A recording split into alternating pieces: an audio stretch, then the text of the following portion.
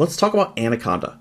So Anaconda is a data science platform that comes pre-bundled with all the tools and libraries that you need to get started with data science right away.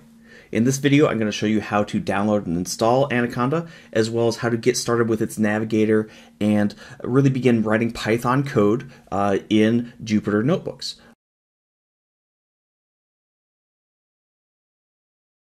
Okay, so if you're looking to get started with Anaconda, uh, you want to go out to anaconda.com uh, and take a look at the web page there.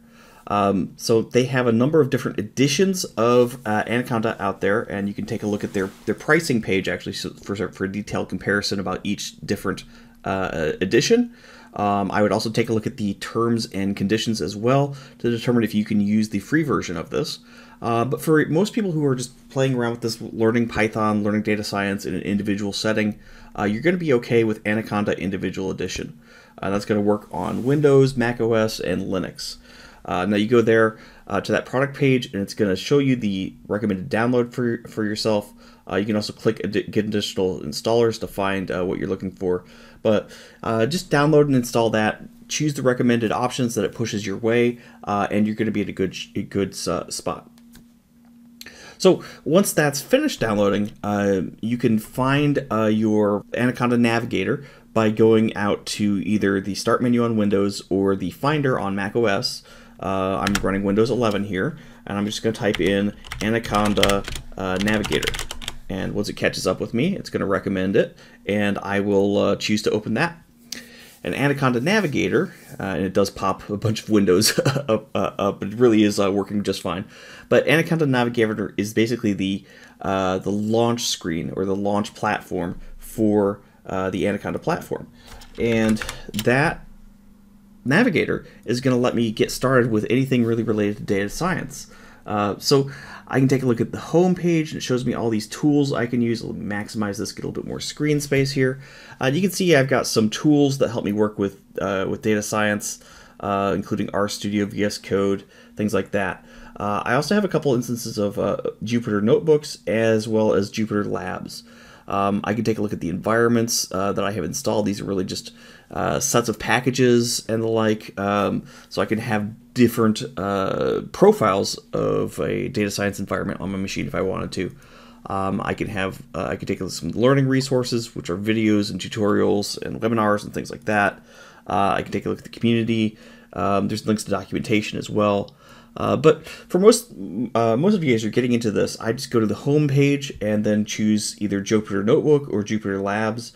Uh, Jupyter Notebook's more traditional at this point, so I'm going to go with that. But both of them let you do about the same thing. Uh, Jupyter Notebooks is a way of working with Python code in a notebook type of environment, um, where you can take your notebooks and share them with other people. So in order, in order to work with our notebook, we're going to have to create one. So I'm going to go over here to the upper right corner uh, in this tree view, and I'm going to say new. And I'm going to say, hey, I want a new notebook. Use the Python 3 kernel. It actually comes bundled with Python uh, when you install Anaconda, so you don't even have to worry about configuring that. Uh, and you'll get a new notebook that looks like this. And you can just type in some Python code. So I could type in uh, num equals 42, print uh, your number is, and then this is just Python code here, str num. And I can hit Control Enter or click Run, and it's going to run that cell. Um, so that's kind of cool. And if I tweak this a little bit, uh, I can change my number to something different, such as 77, and hit Run again, and it runs it just fine. And I can see this little number, this little blue count here, is the uh, count of which uh, the last cell was run.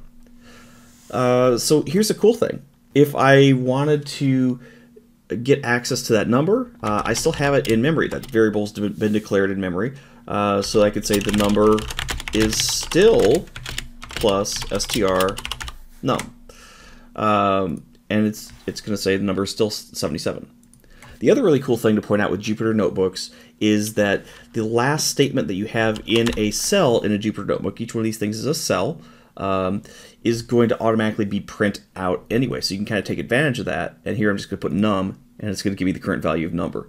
Um, and this is a very silly example here, but you'll use Jupyter Notebooks to sort of progressively manipulate data, to run visualizations and charts, to work with libraries like Pandas, uh, to arrange tables of data, and uh, uh, you can really kind of get this this flow of data down. Um, if you wanted to, you can also add some annotations. So I can change this this cell here from a uh, code cell to a markdown cell, and I can add in some mark some actual markdown syntax for a header. And as soon as I leave the cell, uh, it's actually going to convert that to a normal markdown style he header. So I can I can kind of combine uh, markdown and code to create some interactive documentation I can share with my coworkers, and they can go in there and work with it too. Um, one thing to note is that if I ever change that num to 42 or something else here, I run that cell, I can go back up here and I can run uh, this cell or this cell um, just by uh, just by clicking on it and clicking run. Uh, and it's going to give me the current value of it. So I can sort of run these cells out of order. Uh, most of the time, you're going to want to try to run top to bottom, but you're using a shared set of variables that you can reuse between cells, and so you can kind of rerun parts of the experiment that interest you. So that's Jupyter Notebooks in a nutshell. Uh, that's Anaconda in a nutshell as well. There's a lot of really interesting things you can do, but this will help you get started in getting a Python environment up on your machine that you can work with. Uh, if you want to make sure your, your notebook is saved, make sure you do File and then uh, you save. You can save your notebook as something. So save in Checkpoint here, and I can rename my notebook here from uh, Untitled to Anaconda Jupyter Tutorial or whatever I wanted to name it. Uh, and then if I wanted to come back to it at some point in time, uh, I might go choose, to close and halt, and that'll take me out over here. And if I ever want to get back into it, I can just click on this Anaconda Jupyter tutorial. So that's Anaconda and Jupyter uh, in six minutes. so I hope that was very helpful for you. Uh, let me know what you'd like me to get into next and uh, what questions you have about data science. But uh, happy coding and enjoy.